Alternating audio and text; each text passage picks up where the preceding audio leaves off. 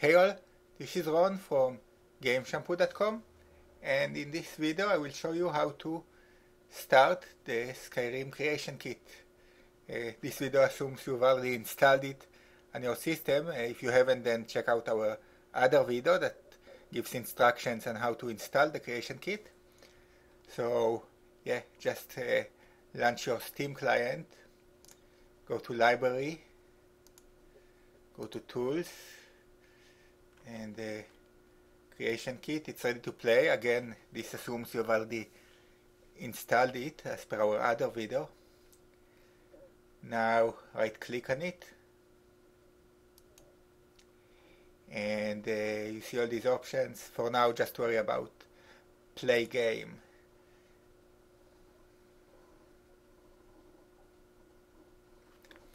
And soon it's going to bring up the creation kit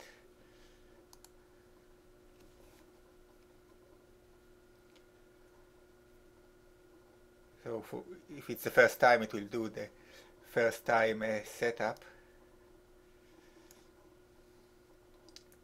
And yeah, here it is. So yeah, this video only shows how to launch the creation kit. Uh, stand by for more videos that will show you how to actually use the creation kit. So be sure to subscribe to this video and also uh, subscribe to this channel and uh, like this video.